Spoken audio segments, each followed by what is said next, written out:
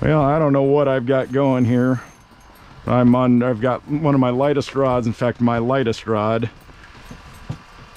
And whatever it is, is stripping line like crazy.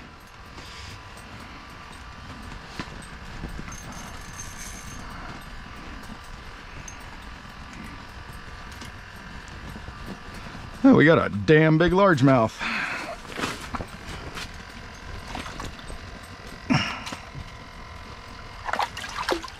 Well, that's a lot of fun to catch through the ice.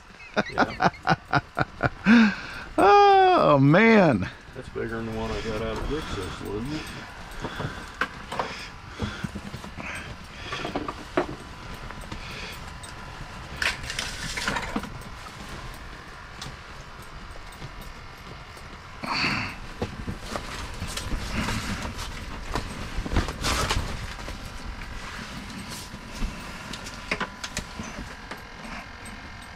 Yeah, 17 inch largemouth.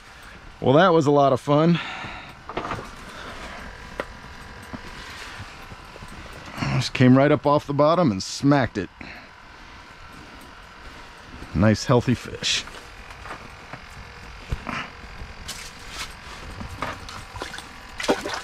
Goodbye.